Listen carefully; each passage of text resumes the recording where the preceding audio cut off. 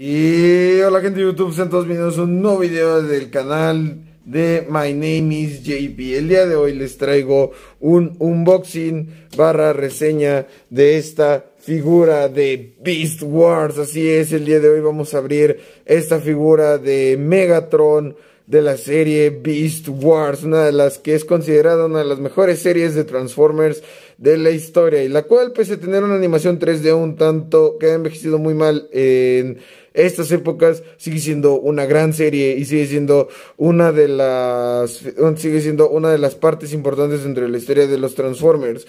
Una curiosidad, un dato a resaltar de esta figura es que no fue hecha por Hasbro. No, no, no, gente. Esta figura, o mejor dicho, esta línea de juguetes de Transformers fue hecha por Kenner. ¿Quiénes fueron los que obtuvieron la licencia después de que Hasbro no, supiera, no supiera qué hacer con la saga de Transformers después de G2, que fue un rotundo fracaso?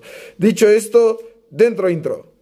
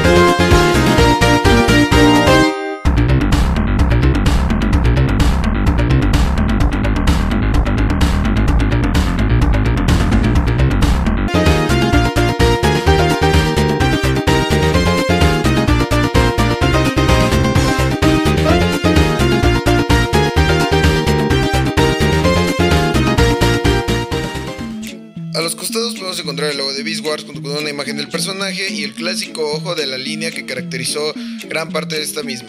Al otro costado podemos encontrar el mismo logo, la misma imagen del personaje, además del ojo de dinosaurio que caracterizó a esta línea desde, los, desde sus inicios.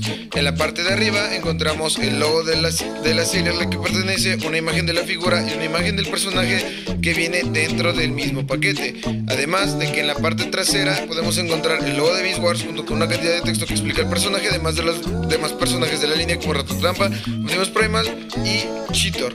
En la parte de enfrente de la figura podemos encontrar a la propia, al propio personaje junto con una, con una imagen de este mismo, además de la propia figura y el logo de la línea que, que pertenece. Bien, pues no se puede decir nada más del paquete, solamente que en vez de tener los logos de Tommy Takara y de Hasbro, que bueno, Aquí atrás, como se podrán dar cuenta, sí tiene el logo de Hasbro, pero porque es la actual distribuidora de los Transformers, no recuerdo, también es la actual dueña de Kenner.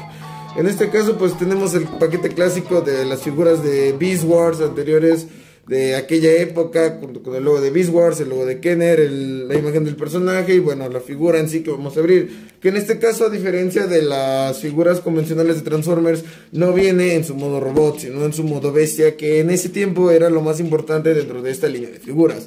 Dicho esto, pues procederemos a abrirla y a sacarla y para checar todos sus accesorios, junto con las articulaciones y detalles que tiene la figura.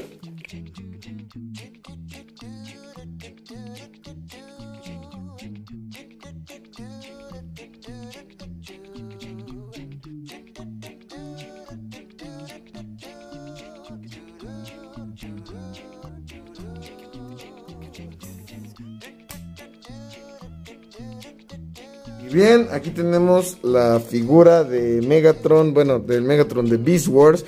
que sinceramente su modo bestia está muy poco articulado. O sea, de plano es una figura con, demas, con muy poca articulación cuando está en su modo bestial. Eh, de plano no podemos, estos brazos se supone que deberían girar 360 grados. Bueno, pues esto no se puede porque tanto la pierna que está acá como esta parte del plástico se lo impiden.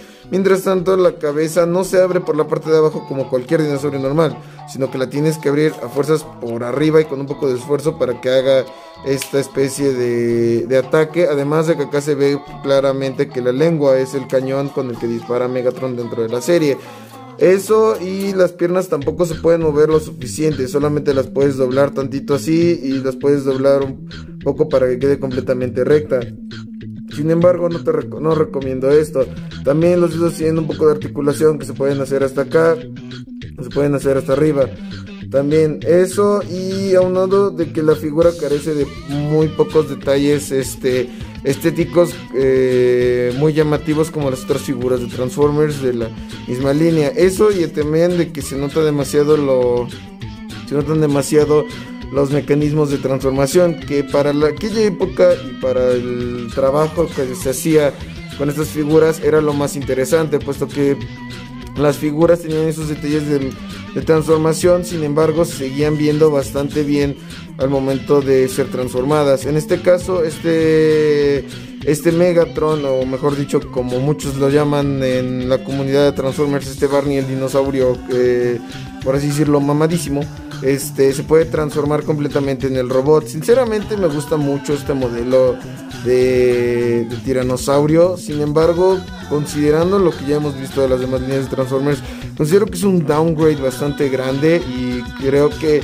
hacerle unas cuantas modificaciones incluso a la línea vintage a la que pertenece esta figura sería algo mucho mejor. Eh, sinceramente creo que le daría un plus más grande a esta figura.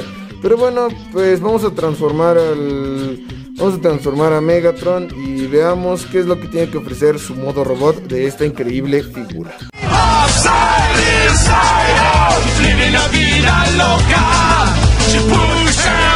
Hola, guapo.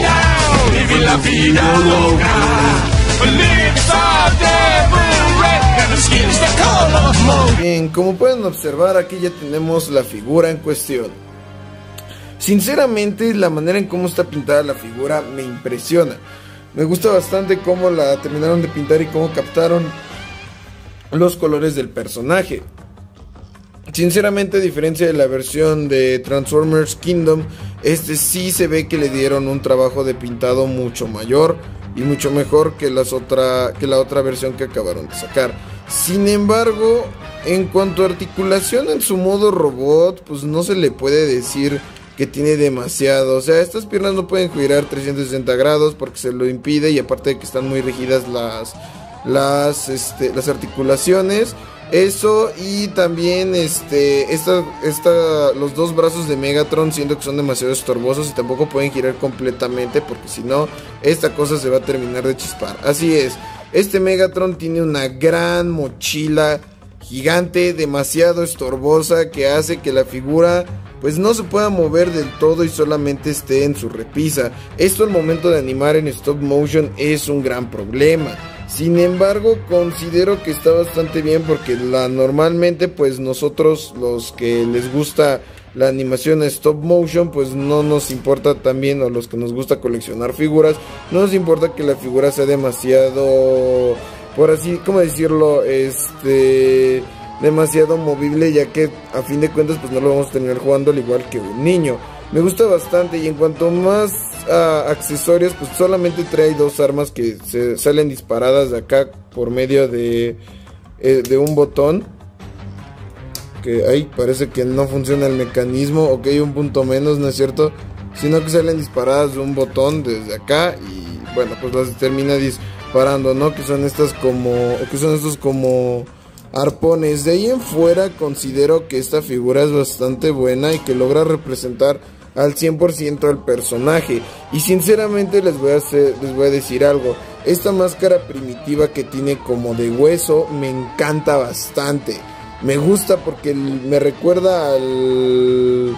Me recuerda al Megatron de Robots in, el de Robots in Disguise, que tenía estas como como orejas de murciélago y bueno, esta figura no es la excepción, o sea, tan solo miren Miren de ese lado cómo se ve bastante aterrador y se ve bastante bien para lo que es Megatron, un personaje que de por sí debería ser intimidante. Sinceramente esta figura me gusta bastante cómo se ve y cómo queda en cuanto al trabajo de pintura.